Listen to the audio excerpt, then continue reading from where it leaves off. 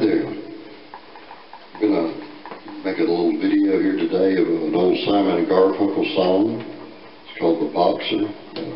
I've always liked this song. Uh, I'm playing, uh, OMC PA4 Martin guitar, and I'm using a Digitech, uh, Vocalist Live, uh, little harmony generator to give me some harmony.